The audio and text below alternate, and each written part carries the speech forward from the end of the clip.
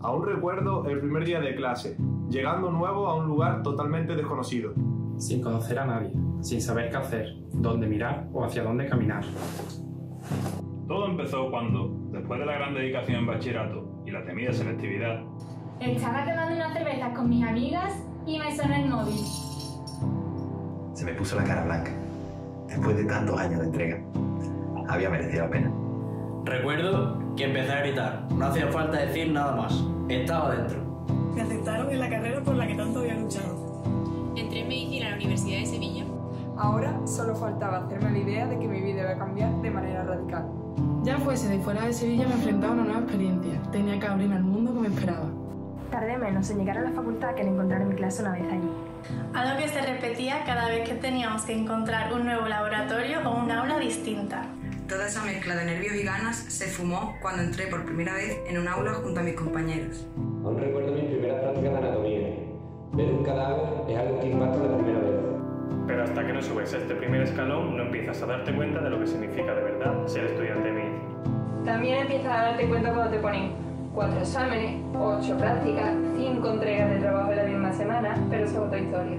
Comienza el segundo año y, pese a casi morir en el intento, lo cogí con ganas. Deseando ver a mis compañeros con los que tantas cosas compartí el año pasado. Y de conocer a esos nuevos compañeros que se unieron a lo largo del camino. Los recién incorporados tuvieron que actualizarse más rápido, yendo de clase en clase y rescatando apuntes donde podían. Y pronto formaron parte de ese gran grupo de personas que sabía que me iban a acompañar durante todo este largo camino. Es imposible olvidar las risas con amigos entre clase y clase, rezando para que no apareciera el profesor los desayunos en la cafetería, en esas escaleras que eran punto de encuentro para todos. Pero no todo eran risas, no podemos olvidar esas largas tardes y noches de estudio en la biblioteca. Además, luego llegó el momento de selección de hospitales y la gran incertidumbre de si tendrías la suerte de que te tocara aquel que tanto querías. O en cambio tendrías que separarte de tus amigos en el camino, abriendo paso a nuevos compañeros. Otro año más a nuestras espaldas, con la extraña sensación de que dejaba algo atrás. Este sería el último año completo en el que estaríamos todas y todos juntos en el Hospital Universitario Virgen Macarena. Mi querido tercero, vaya como me lo hiciste pasar. El primer cuatrimestre está formado probablemente por las asignaturas más complicadas. En ese momento te das cuenta de que las cosas se van poniendo cada vez más difíciles. No puedes bajar el ritmo. La noche en vela estudiando AP, Farma, Micro y algunas más que mi cerebro ha decidido olvidar. En ese momento me di cuenta de lo que significa el esfuerzo y la dedicación que esta carrera necesitaba. Y llegar a las despedidas de los compañeros al cambiar de cuatrimestre. Fue muy duro. Son personas que han compartido contigo los dos últimos años de tu vida y los dos primeros de tu madurez. Pero el mundo sigue y la rueda tiene que girar. Te llevas a algunos y otros quedan atrás. Pero sin olvidar que cada vez estamos más cerca de ser médicos. Una nueva etapa comienza en el segundo cuatrimestre. Ya formas parte del hospital que será tu casa durante los próximos tres años y medio. El Hospital General Virgen de Rocío con su característico campanario que nada tiene que envidiar a la Giralda. Recuerdo las ganas que tenía en aquel momento de entrar allí. Esas ganas de pasar por delante de todo lo que me encontrase. Hasta que me di cuenta de que si en la facultad era difícil entrarse en los pasillos del hospital, la odisea era aún mayor. Al final nos aprendimos los caminos a base de perdernos más de una vez y de llegar tarde. Enseguida comenzaron las prácticas. Y ahí fue cuando pude darme cuenta de verdad de cómo era la dinámica de la carrera. Todo empieza por intentar encontrar al médico que te ha tocado como tutor. Vas por ahí preguntando dónde está no sé quién o por dónde se va tal despacho. Creo que hasta que no pasó el año entero no consigues orientarte. También empecé a sentirme un poco más útil al relacionarme con los pacientes. Vi que con mis actos, aunque fueran pequeños, podía ayudar y eso me encantaba. Menos cuando me preguntaban cómo se llegaba a tal sitio y se ponía en evidencia que era demasiado en todo esto. Además, todas las asignaturas empezaban a estar relacionadas con temas médicos. Se convertirían en algo que podíamos ver a diario en nuestro medio.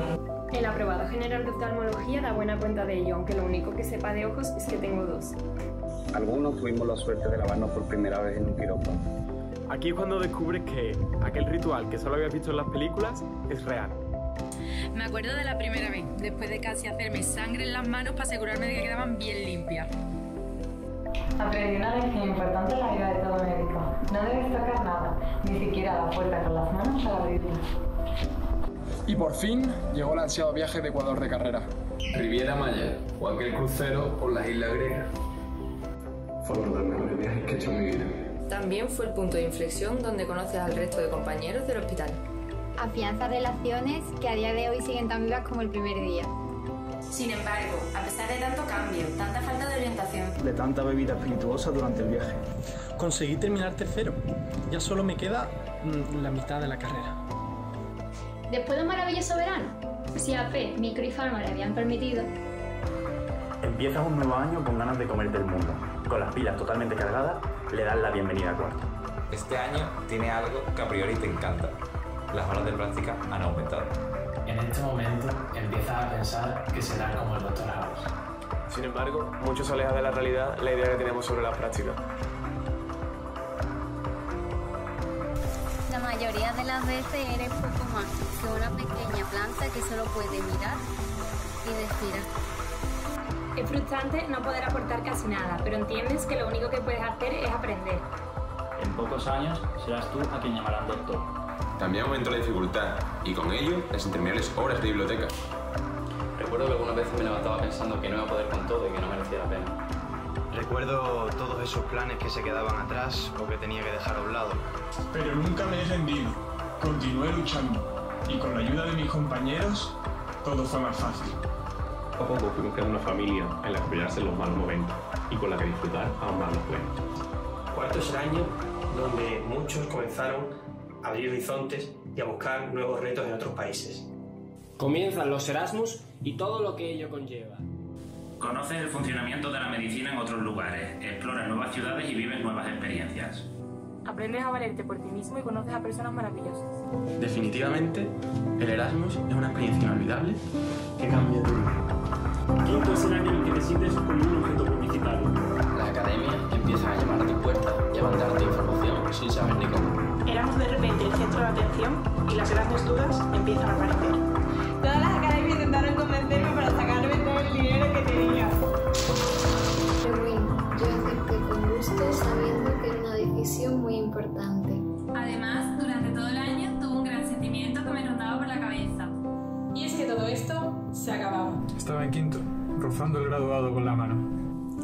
de que mi familia pudiera ver hasta dónde he llegado y sentirse orgullosa de mí. Pero también estaba la sensación de que la vida, tal y como la conocía, se iba a acabar. Cerraba de nuevo otro ciclo más. Era el último año de asignaturas teóricas en el aula, para quien fuese clase, claro. Pero la despedida fue lo grande. Nunca olvidaremos el gran trauma con traumatología ni los porcentajes aprendidos en preventiva. Bueno, quizá estos últimos sí, ¿para qué engañarnos? No podemos dejar de mencionar a Elo, aquel amor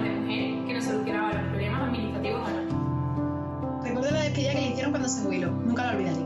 Pero sin duda lo mejor fue el verano, mi último verano libre. Esa mezcla de sensaciones entre que lo has hecho todo bien y te mereces descansar. No te quieres perder una fiesta, viaje o compartir plan con amigos y familia. Sabíamos que los veranos, tal y como los conocíamos hasta ahora, llegaban a su fin. Finalmente estábamos en sexto y 2020 planteaba ser el año perfecto. Ese año donde hacer todo lo que el MIR no nos dejaría meses más tarde. Empecé con mucha ilusión mi último año como estudiante en el hospital. Todo el curso de prácticas, viviendo desde dentro cada una de las especialidades y decidiendo dónde nos veíamos en el futuro. Pero siempre con el fantasma del MIR acechando y recordándonos lo que se nos venía encima. Y sin olvidarnos de ese mortal TFG que teníamos que entregar. En prácticas, cada día te plantabas con ilusión en el servicio que te tocaba. Deseando ver un par de vagines, ayudar en la operación en cirugía o darle una buena noticia al paciente que llegara a tu consulta. Siempre guardando algún tiempo libre para irme de copas con mis amigos. Pero de repente y sin previo aviso, una pandemia mundial aparece y el mundo se paraliza. Un chino decide comerse un pangolín y en cuestión de días el mundo se viene abajo.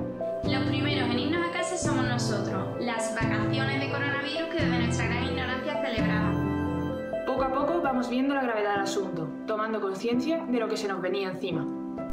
Esos planes que teníamos preparados para los últimos meses antes del MIR se sustituían por meses de confinamiento. Las cervezas en terrazas se sustituyeron por videollamadas y nuestras habitaciones se convirtieron en bibliotecas. Cada día escuchábamos aplaudir al mundo en agradecimiento a los sanitarios por su gran labor. Una labor que estaríamos nosotros desempeñando pronto y que nos alentaba un poco más a cumplir nuestro sueño. Un sueño que cada vez estaba más cerca, algo por lo que llevamos luchando tanto tiempo. Uno de los momentos más extraños, pero a la vez más impresionantes, fue la graduación online. Inesperada y querida partes iguales.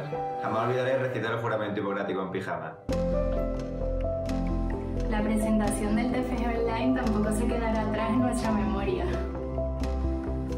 Por arriba, súper arregladitos. Hay quien optó por chaqueta y corbata, hay quien estrenaba camisa, pero por debajo... calzona y chancla, en el mejor de los casos.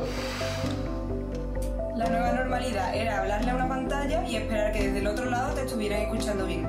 Y como colofón a un año de loco, un ECOE de loco. Creo que siempre recordaré mi cara al ver ese cero en psiquiatría.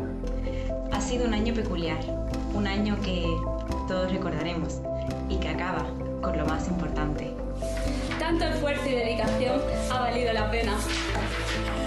¡Somos médicos! Creo que la promoción 2014-2020, también conocida como Ebola COVID, marcará un antes y un después en nuestra querida facultad de la Universidad de Sevilla. Medicina es difícil entrar, pero más difícil es salir. Te enamoras tanto de esta profesión que ya no puedes vivir sin ella. Ha sido duro, muy duro, pero no todo ha sido estudiar.